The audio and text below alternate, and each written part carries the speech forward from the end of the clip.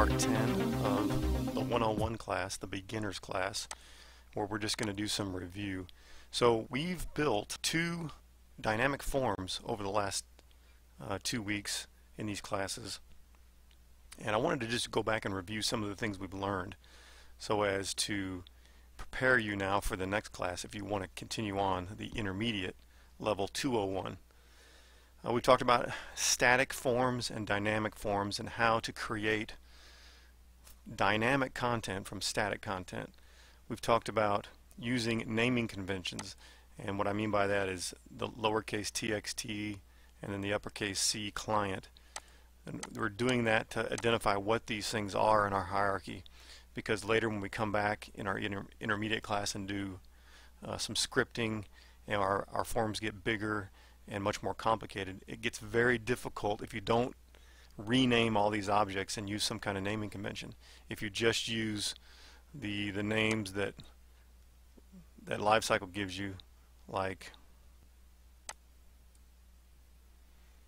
drop down list 1 or text field 1 or text field 2, text field 3 and you keep keep doing this it gets very confusing on what what the object actually functions as. If you name it something intuitive, it's helpful later on. We've talked about the difference between positioned and flowed subforms and main forms.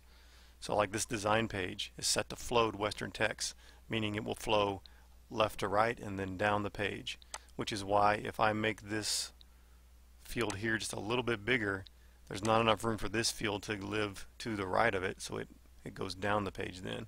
But if I shrink this a little bit, like that, it's big enough to fit now, and it can sit here to the right. And as this field grows, like this address here, which is set to allow multiple lines and height to grow, as you type, this will get bigger and bigger and bigger down the page and push things down with it. That's flowed content.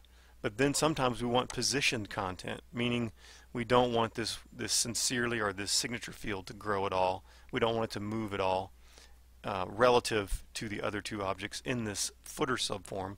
So the footer subform is set to positioned, meaning we want all the objects inside this subform to use the xy coordinates. They all have xy coordinates. But if we go to this object, there is no xy because it's in the flowed part of the subform. We talked about the hierarchy and how we have parents and children. So form one is the, the topmost parent over all other things in the hierarchy. And then we have things like main, and main is a parent to txt client and SF footer. And SF footer is a parent to TXT signature and title. And I know that doesn't make a lot of sense right now or doesn't seem to have a lot of utility.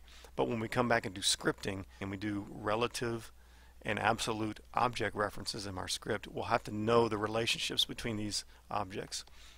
We talked about master pages and how the content area of the master page is where the design page objects are allowed to live. It's the real estate marked off for our design objects. And if we don't allow the content area to go anywhere else, those things can't live there.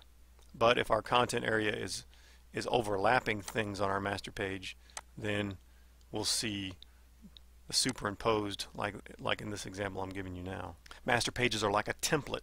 They're like a um, a starting point for a page where you can put header and footer objects like logos and addresses and form titles and page one of one, page one of two, x of x of y. We've talked about how all these things put together make dynamic PDFs that can then flow page by page. We've talked about tables and how tables can grow. The, the rows can be set to grow dynamically by repeating row for each data item and allowing them to repeat. And we've done a little bit of minor scripting, one and two line scripts where we use the instance manager to add instance or remove instance depending on which rows we were in. We've talked a little bit about form calc and doing summation calculations and subtotal calculations. Very rudimentary basic stuff. Uh, in the in the 201 class when we start talking about intermediate topics, these scripts are going to get a little bit longer and a little bit more interesting. So let's talk about that real quick. In the next video series, I'm going to show you how to use uh, dynamic effects like hide and show and checkboxes and radio buttons to make things move around at runtime for the end user. It's almost like taking the form now and creating an app out of it, an app that runs in, in Adobe Acrobat PDF. We're going to talk about uh, drop downs, email submit buttons, reader extensions, input masks, global data binding, uh, the JavaScript editor, we're going to go more detail there, and we're going to talk about using reader extensions so that you can save and view your forms or your end users can save and view the forms in Acrobat Reader. So I hope you'll continue on and, and um, uh, come to the intermediate class. I plan to, to put that out very soon and I hope that uh, you've learned a lot in this class. Please ask questions in the comments. Uh, I can only answer questions if they're actually asked in the comment section. So please ask questions and please subscribe so that you can get updates on when new videos come out. I thank you for watching and thank you for listening and I hope that uh, you have fun and success creating your dynamic PDFs. We'll see you next time.